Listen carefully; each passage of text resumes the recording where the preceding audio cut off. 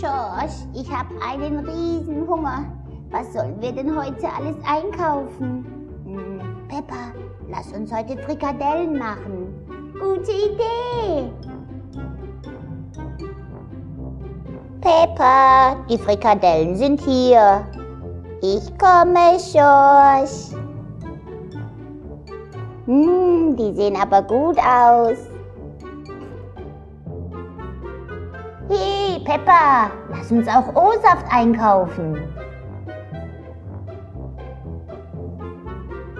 Schorsch, das Brot dürfen wir nicht vergessen.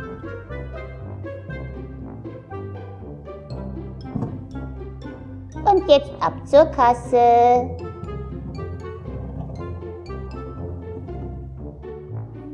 Gok, gok, gok, gok, gok. Ein O-Saft. Ein Brot. Und vier Frikadellen. Gok, gok, gok, gok, gok. Das macht 25 Moneten, bitte. Gok, gok, gok, gok. Hier, bitteschön.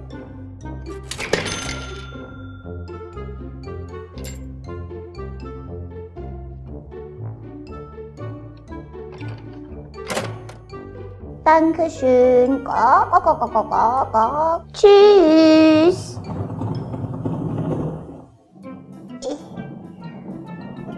Ui, Schorsch, lass uns gleich mit dem Kochen anfangen. Ich habe einen riesen Hunger. Zuerst muss der O-Saft in den Kühlschrank.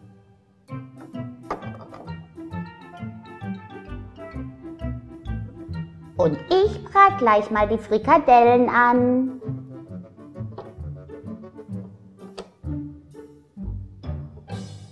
Und jetzt den Herd anmachen. Hey, der Herd ist kaputt. Was ist denn, Peppa? Schorsch, der Herd ist kaputt. Wie kaputt? Ich weiß auch nicht. Er funktioniert nicht. Und was jetzt? Ich habe doch so großen Hunger. Mach dir keine Sorgen, Schorsch. Wir rufen einfach in der Reparaturwerkstatt an. Hallo? Hier ist Peppa. Ja, unser Herd ist kaputt. Können Sie bitte jemanden vorbeischicken? Prima, danke schön. Prima, dann kommen wir heute wohl doch noch zu unseren Frikadellen. Hallo Peppa, hallo Schorsch. Ihr habt den Reparaturservice angerufen? Hä? Oh, hallo Nicole. Kannst du etwa unseren Herd reparieren? Peppa, ich kann so gut wie alles reparieren. Jetzt werfe ich mal einen genaueren Blick auf den Herd. Mhm, diese Herdplatte funktioniert nicht. Diese hier auch nicht. Hm, also der Herd ist ja auch wirklich sehr schmutzig. Vermutlich ist hier die Gaszufuhr verstopft. Das müssen wir sauber machen. Mal sehen, ob es in meiner Werkzeugkiste was hat, mit dem ich den Herd sauber bekomme.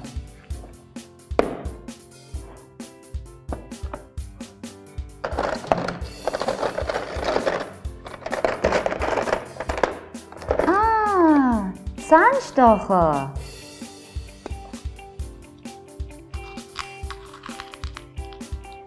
Damit kann ich den groben Dreck entfernen.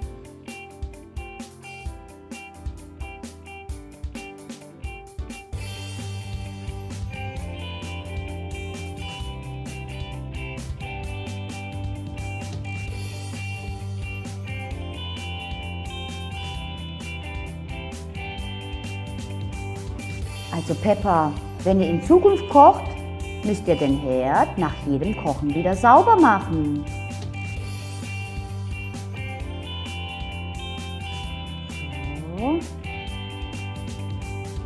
Hm, bist du fertig, Nicole? Können wir endlich kochen? Wir haben so einen Hunger. Es dauert nicht mehr lange, Peppa. Ah, ich habe meine Bürste gesucht.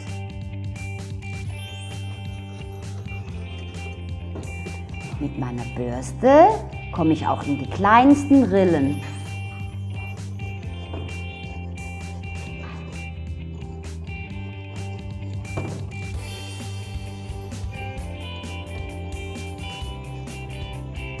Und jetzt wischen wir den Herd noch mit einem feuchten Tuch ab.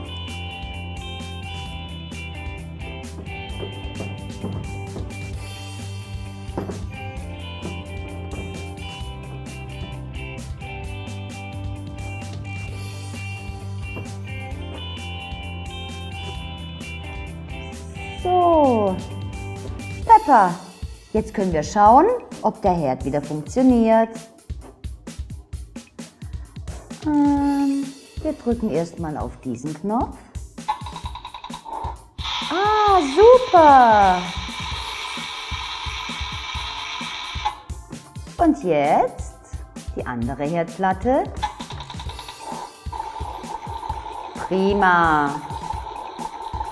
Ah, einen Backofen habt ihr auch. Wenn ich schon mal da bin, kontrolliere ich den auch gleich mal.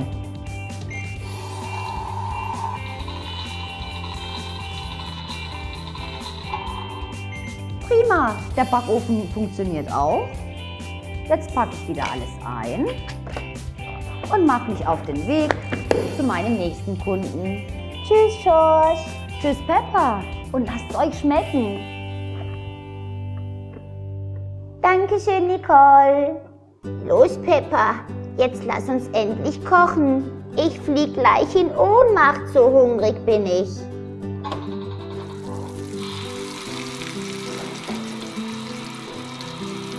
Mmh, das riecht jetzt aber schon gut.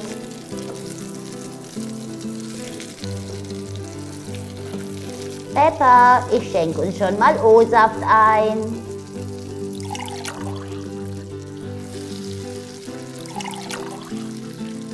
Prima, Schorsch. Die Frikadellen sind nämlich auch schon fertig.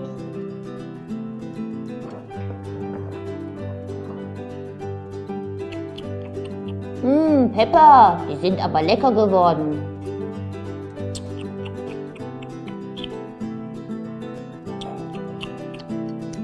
Das finde ich auch, Schorsch.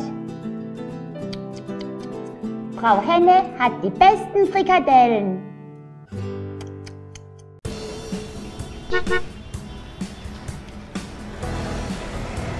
Hallo Freunde, schaut mal, wie viele Spielzeugautos ich habe.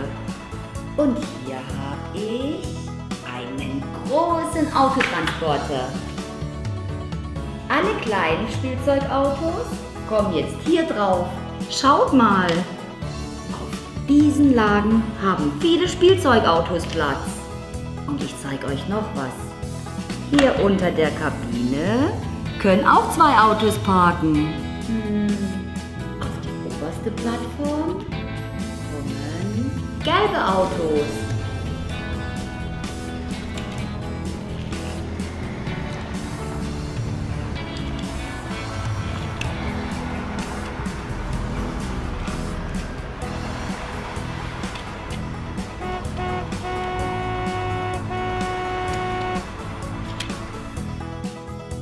Gelb ist meine Lieblingsfarbe.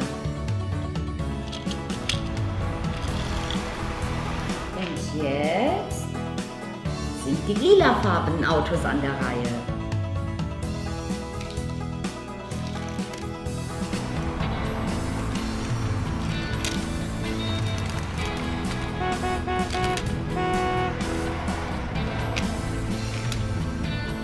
So, als nächstes kommen die grünen Autos. Davon habe ich ganz schön viel.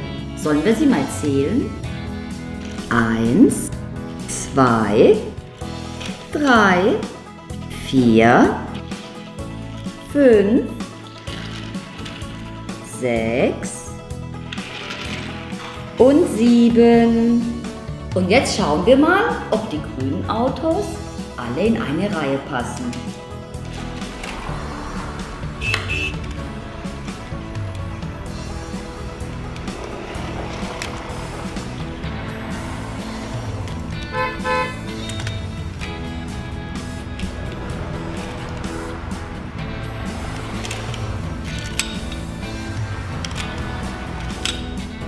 Hier habe ich vier orangefarbene Autos.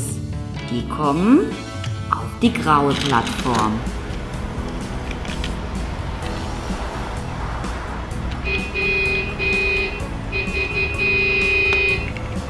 Ich habe auch blaue Autos.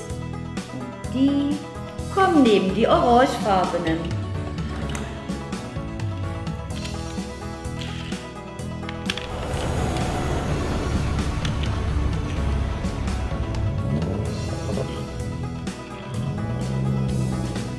Ist das Auto von Superman. Das kommt unter die Kabine.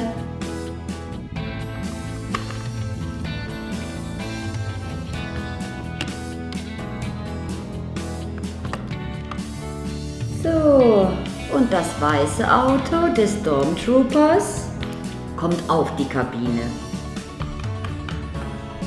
Seht ihr? Seht ihr, wie groß dieser Autotransporter ist? Es hat sogar noch Platz für andere Autos. Ich kann ja mal nachschauen, ob es in meiner Spielzeugkiste noch andere Spielzeugautos hat. Los, kommt mit!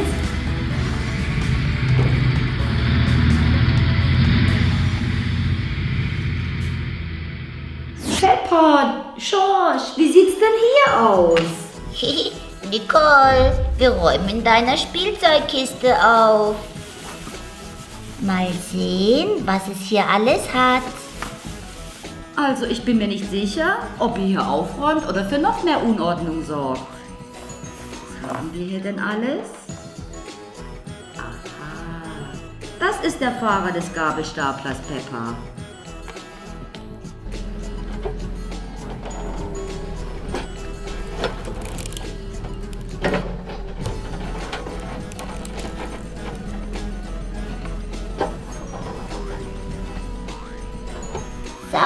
Sausia! Mal sehen, was es noch hat. Oh, ich habe einen Lastwagen gefunden. Dieser Kipplaster kann in seinem Ladekasten auch Blöcke transportieren. Ich suche einen Block, ich suche einen Block. Sausia! Hehe!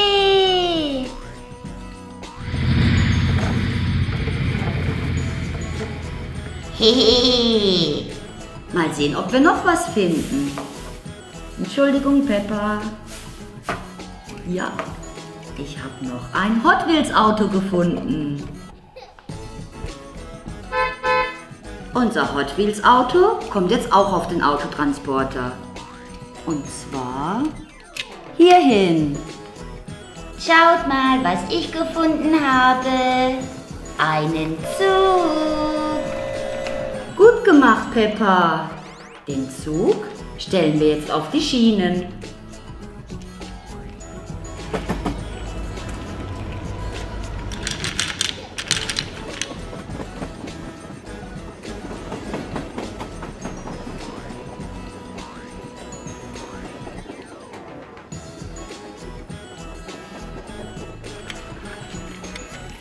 Mal sehen, ob es in der Kiste noch mehr Spielzeugautos hat.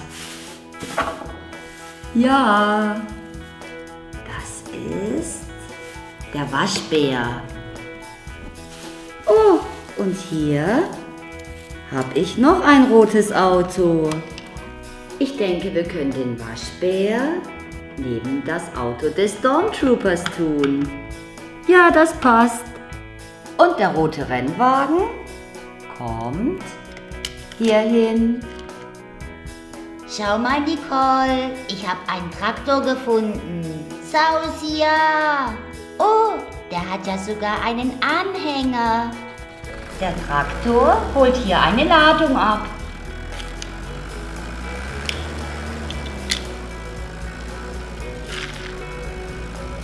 Hm, Nicole, warum fahren denn die Waggons nicht? Hm, Peppa, Waggons können nur dann fahren, wenn eine Lokomotive sie zieht. Ich schau mal nach, ob ich hier eine Lokomotive finde. Ha, na also. Hier, Peppa, mach die Lokomotive an die Waggons. Ja, prima. Und los geht's.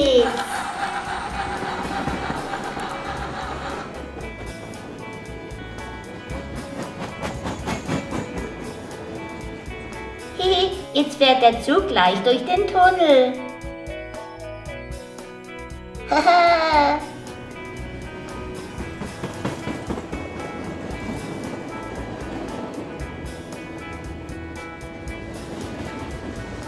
So, wir sind gleich mit dem Aufräumen fertig.